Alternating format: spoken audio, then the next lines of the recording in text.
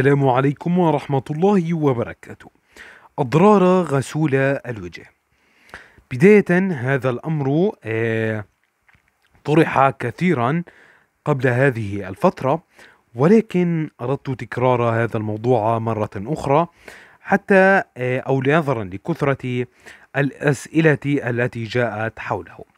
فبداية غسول الوجه يفيد ويضر شيئا آخر. كثرة استخدام غسول الوجه من الممكن أن يسبب إلى جفاف البشرة وظهور التقرحات والندبات في الوجه. فنلاحظ انتشار الحمار والحبوب في الوجه للأسف وذلك يعتمد على حسب نوعية الغسول. فهناك بعض الأنواع التي تسبب بعض الحساسية وهناك أنواع تؤدي إلى إسمرار البشرة. على عكس ذلك هناك بعض غسول الوجه الذي يأتي من شركات معروفة والذي يأتي أخف ضرر نوعا ما. إلى اللقاء.